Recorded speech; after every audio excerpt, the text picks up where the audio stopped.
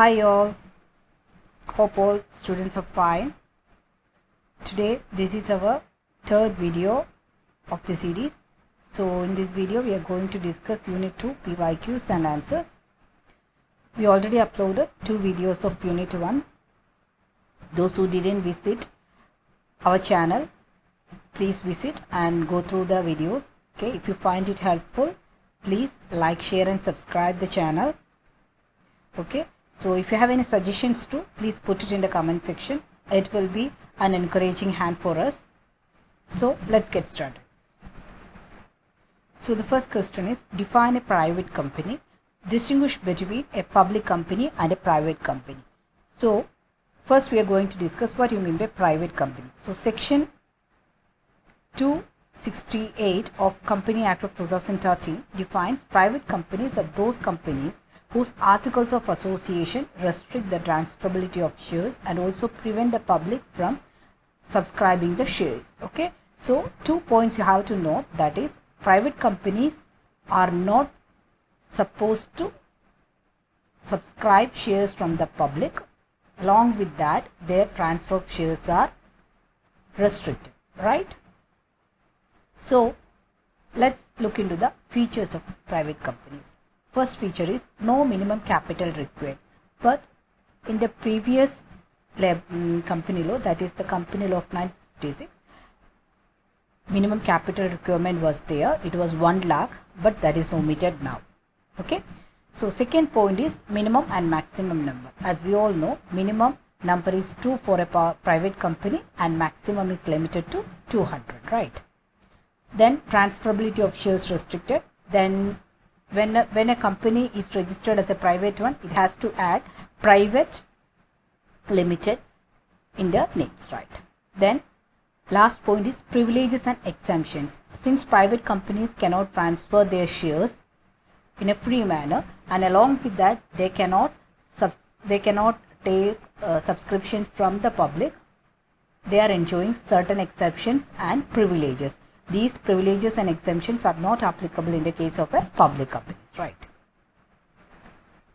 Now what are the differences between public company and a private company?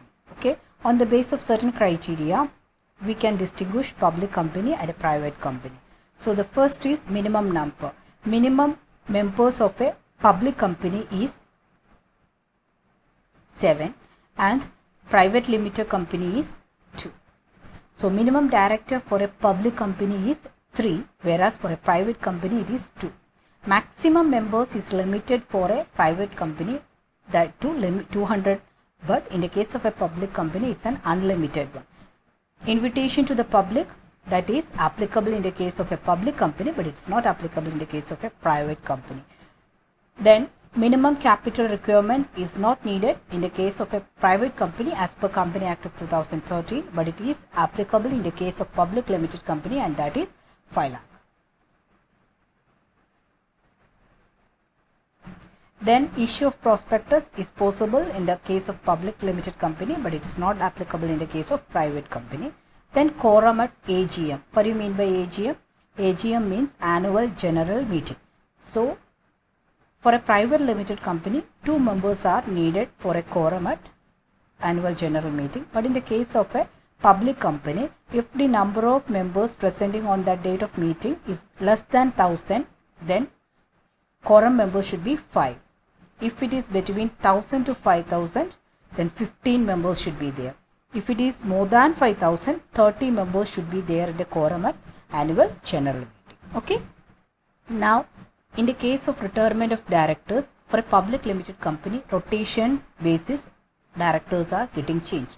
But in the case of private limited company, no any requirement of rotation. Then public deposit is free to accept in the case of public limited company not accept in the case of private limited company. Managerial remunerations cannot exceed more than 11 percentage of the net profit in the case of a public limited company. But in the case of a private limited company, no such restrictions are prevailing. Okay.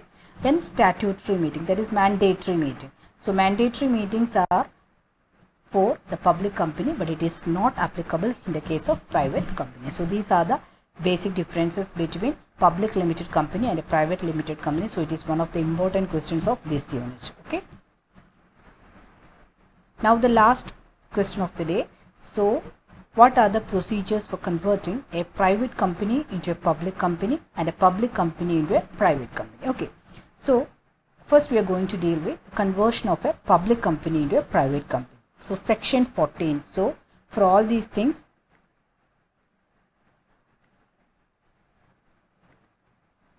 section 14 is the section 14 is dealing with the conversion of public company into private company so when we are converting a public company into a private company certain steps are involved in the conversion. So the first step is passing of a special resolution at general meeting. So for a special resolution passing a general meeting articles alteration also happen. What do you mean by articles alteration? In the case of a public company there is no limit for the ma maximum members and there is free transfer of shares possible and it they can subscribe shares from the public. But these are not applicable in the case of a private company. When a company is getting converted from a public to the private it has to alter the article. So that ha- that is happening in the general meeting. That is happening at general meeting right? Then second point is after the resolution got passed and alteration of articles happened then second one is changing the name of the company. The company's name will be changed to private limited company. Then after that it has to obtain tribunal's approval. After completing the first three steps these details should be furnished before the registrar within 15 days. Once the registrar's approval also obtained after that the company's conversion from public to private limited company will be completed right? So these are the four steps involved in the conversion of a public company into private company. Now we are moving to the last part that is a conversion of a private company into public company. For that also section 14 is there. So section 14 of company act of 2013 here here also four steps are there. So the first step is passing of a special resolution like the previous case. And here also the alteration happens and then increase in the membership. Here increase in membership. So what is the significance of increase in membership? In the case of a private company the minimum number is minimum number of members is 2 but it has to increase to 7 for a public limited company it minimum number of members is 7 so it has to if it is less than 7 it can uh, the private company has to increase its membership to 7 okay then increase in the number of directors. We already discussed that number of directors in a private company is 2 but in a public company it is 3 right? Then last one is dropping the word private.